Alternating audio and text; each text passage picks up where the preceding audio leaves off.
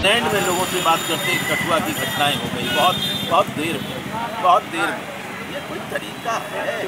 आप किसी को सोनिया गांधी को जर्सी गाय कहें, किसी को कुछ कहें, किसी को कुछ कहें, आप बहुत महान हो गए देश के प्रधानमंत्री।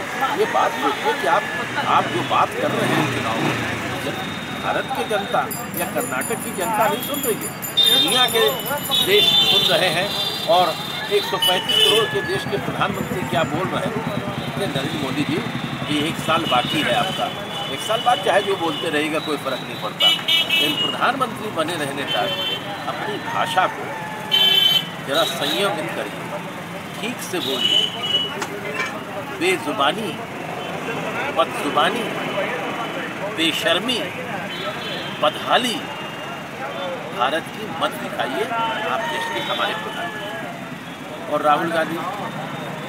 आप भी आप प्रधानमंत्री बन जाइए, न बन जाइए, आपकी पार्टी बहुमत में आएगी, तब बनिएगा चलिए, आपके दिल में बड़ी ख्वाहिश थी, आपने आज बता दिया।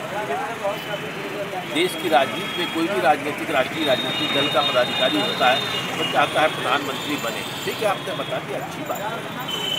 लेकिन आपकी पार्टी बहुमत में आएगी तब ना। अंग्रेज़ी में कहावत है you cross the bridge when you reach the bridge आप पुल तब पार करते हैं जब आप पुल पर पहुँचते हैं। अभी इसे बोलने से क्या फ़ायदा है? ठीक है। अगर कोएलिशन की गवर्नमेंट होगी, तब क्या करेंगे? तो कोएलिशन में लोकतंत्र के सर भी गिने जाते हैं, लेकिन साथ ही साथ विचार भी गिने जाते हैं।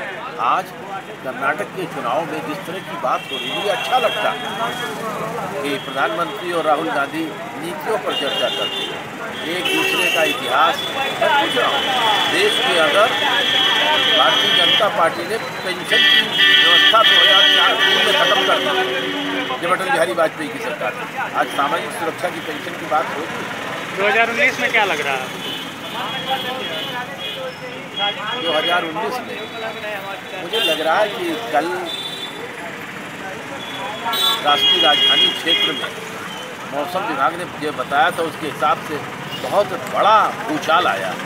बहुत तेज़ हवाएँ चली। इतनी तेज़ हवाएँ चली कि एनसीआर में, राष्ट्रीय राजधानी क्षेत्र में, तमाम पुराने पेड़ जो बहुत मजबूती के नीचे जड़ों, जिनकी जड़ें बड़ी गहरी थी, उखड़ कर किनारे आ गए।